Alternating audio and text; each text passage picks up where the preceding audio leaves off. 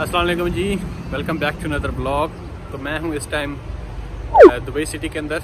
मेरा एक दोस्त है, उसका इंटरव्यू था आज फ्राइडे को ही। तो वो जो बिल्डिंग आप देख रहे हैं पीछे, वो वाली, उसमें।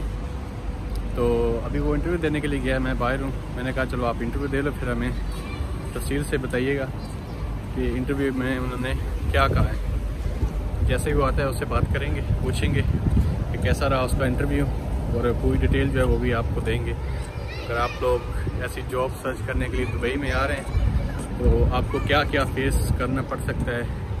क्या क्या क्वेश्चन होंगे जो वो लोग आपसे करेंगे? अभी फ़िलहाल वो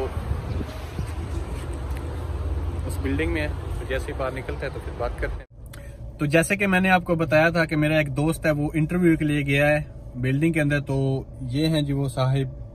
ठीक है क्या हाल है? इंटरव्यू कैसा था? अल्हम्दुलिल्लाह बहुत ज़बरदस्त। तो अभी इनसे पूछते हैं कि इन्होंने किस चीज़ के लिए अप्लाई किया है किस चीज़ की ये जॉब थी और आप लोगों के साथ ये सारा एक्सपीरियंस जो है वो ये भाई और मेरे साथ मिलकर हम लोग आप लोगों के साथ शेयर करने लगे हैं कि दुबई में अगर आप जॉब के लिए आते हो तो इंटरव्यू के लिए आपको किन किन बेसिक चीज़ों की नॉलेज होनी चाहिए। तो सबसे पहले भाईजान हमें ये बताएँ कि आपने किस चीज़ के लिए अप्लाई किया है मतलब किस चीज़ का इंटरव्यू चल रहा था? मैंने सिविल इंजीनियरिंग डिपार्टमेंट में सिविल सुपरवाइजर के लिए अप्लाई किया था। अच्छा। और वहाँ पे बेसिकली दो पोजीशंस के लिए इंटरव्यू चल रहे थे।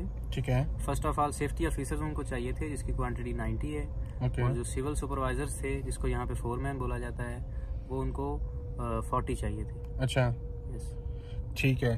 तो इनका मतलब बेसिक जो चीज़ें होती हैं इंटरव्यू के लिए वो क्या चीज़ें वो चेक करते हैं? सीवी वगैरह या आपकी ड्रेसिंग आपकी लैंग्वेज आपका मतलब बोलने का तरीका ये सारा मतलब वो टेस्ट करते हैं? मतलब फोकस रखते हैं इन चीज़ों पे? Yes yes. सबसे पहली चीज़ जो आपके आप साथ लेके जाते हैं आपकी सीवी है आपकी रिज्यूम है। आपकी रिज्यूम में जो जो चीज़ें मेंशन होती होती हैं वो एक तो आ, सब कुछ एक्यूरेट होना चाहिए। ठीक है। कोशिश करें कि आप हर एक चीज़ एक्चुअल लिखें जिसके के आप जवाब दे हैं। ऐसा ना हो कि आप किसी फ्रेंड से सीवी बनवाएँ और आपको वो जो है वो खुद को पढ़ना ना आती हो या उसका मतलब भी पता ना हो। ठीक है। मतलब ऐसे है कि वो चीज़ें लिखनी चाहिए जो आप जानते हो। जो आप जानते मतलब ऐसे नहीं है कि जो भी मर्ज़ी है लिख लिया एक बार सुर्खी पाउडर लगाने वाला काम हाँ जो वो नहीं करना चाहिए। ठीक है ठीक है। उसके बाद दूसरी चीज़ है आपकी ड्रेसिंग आपकी ड्रेसिंग ऐसी होनी चाहिए कि देखने वाला कम अज कम जो है वो इम्प्रेस हो जाए इस चीज़ इस चीज़ से कि क्या आप एक अगर पोजीशन के लिए अप्लाई कर रहे हैं तो क्या आप उस पोजीशन के लिए क्वालिफाई कर पाएँगे? ठीक है। आपको फॉर एग्ज़ाम्पल सिविल सुपरवाइजर की जॉब में सबसे बेसिक चीज़ है लेबर को कंट्रोल करना। ठीक है। तो आपकी बॉडी स्ट्रक्चर जो है वो इस चीज़ को मेंशन करता हो कि आप वाकई एक सुपरवाइजर के तौर पे काम कर सकते हैं। ठीक है। और उसके बाद सबसे मेन चीज़ जो है आपकी बॉडी लैंग्वेज ठीक है।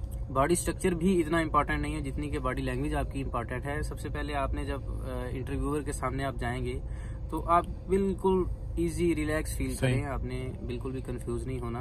और आप ऐसे बात करें जैसे आप अपने एक फ्रेंड से बात कर रहे हैं। बिकॉज़ वो आपको यहाँ पे दुबई में सबसे मेन चीज़ जो न्यू कमर्स हैं हमारे उनको हम बताएँगे कि सबसे मेन चीज़ दुबई में जो इंटरव्यूज़ होते हैं किसी भी पोजीशन के लिए वो देखा जाता है सामने वाले का एटीट्यूड और बॉडी लैंग्वेज इस पे मैं एक, एक बात मेंशन करना चाहता हूँ कि मैंने पहले भी एक वीडियो में बताया था कि बंदे की ड्रेसिंग और बॉडी लैंग्वेज जो है ना वो बहुत ही ज़रूरी है इंटरव्यू के लिए।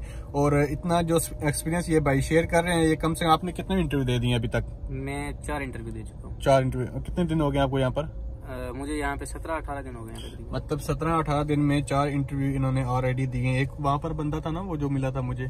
वो जो आप बता रहे थे मतलब उसको दो महीने हो गए हैं और उसने एक इंटरव्यू दिया दो दिए। एक इंटरव्यू पहला दिया। हाँ एक इंटरव्यू दिया। मतलब वो मैंने एक पहली वीडियो में भी बताया था कि कुछ लोग होते हैं वो बस खाते हैं और सो जाते हैं। सो जाते हैं। तो वो बंदा उनमें से था। यस वो बंदा उनमें से था जो दुबई आता है आते हैं और खाते हैं और सो जाते हैं और उनको कुछ वर्किंग का कुछ भी फ़िक्र उनको नहीं होती। अच्छा तो अभी मुझे आप ये बताएँ कि मतलब सैलरी जो सैलरी पैकेज अभी आपने सिविल इंजीनियर के लिए अप्लाई किया था ना सैलरी पैकेज उन्होंने कि आपको क्या बताया है? मतलब कि बेसिक कितनी आपकी हो जाएगी या उसकी लीव क्या होगी? ड्यूटी टाइमिंग क्या होगी? उन्होंने कुछ ऐसी डिटेल के साथ बात की है आपके साथ? यस उन्होंने बात की है कि हम आपको बेसिक जो है वो टू थाउज़ेंड देंगे। और फोर हंड्रेड दिरम्स आपको जो है वो फ़ूड अलाउंस देंगे ट्रांसपोर्ट कंपनी प्रोवाइड करेगी और जो यहाँ पे अकोमोडेशन है वो भी कंपनी प्रोवाइड करेगी मोबाइल कंपनी प्रोवाइड करेगी इफ़ यू आर सेलेक्टेड ठीक है। और सिलेक्शन का जो प्रोसीजर है वो फाइनल इंटरव्यू पे जो कि क्लाइंट के सामने आपको बिठाया जाएगा। जो कंपनी जिसको जिसकी रिक्वायरमेंट है बेसिकली वो आपका इंटरव्यू लेगी जिसे फाइनल इंटरव्यू कहा जाता है। उसके बाद आपकी जब सिलेक्शन हो जाएगी तो फिर आपकी सैलरी हाँ एक्सपेक्टेड सैलरी अगर आपको कोई पूछता है एक्सपेक्टेड सैलरी आप कम अज कम आप ये ना देखें कि आपको ज़रूरत कितनी है या अगले बंदे की जो है वो सलाहियत कितनी है। आप ये देखें कि इस पोजीशन के लिए कम अज कम कितनी सैलरी होनी चाहिए। सही है। जैसा कि सिविल इंजीनियर के लिए कम अज कम जो एक्सपेक्टेशन होनी चाहिए वो चार हज़ार दिरम्स होनी चाहिए ठीक है मिनिमम मतलब ये है कि मैक्सिमम आपको इतनी डिमांड करनी चाहिए चार हज़ार दिरम तक कि हम yes. हमें इतनी सैलरी चाहिए ऐसे yes. उसके बाद जो है वो इंटरव्यूअर हाँ। आपको बताएगा कि वो कितनी अफोर्ड कर सकता है तो फिर जहाँ पे आपको मुनासिब लगे आप उनको यस बोल दें अगर आप ज्वाइनिंग करते हैं तो गुड फॉर यू ठीक है जी। तो बहुत शुक्रिया आपने अपना एक्सपीरियंस हमारे साथ शेयर किया और हमारी ऑडियंस के साथ भी शेयर किया।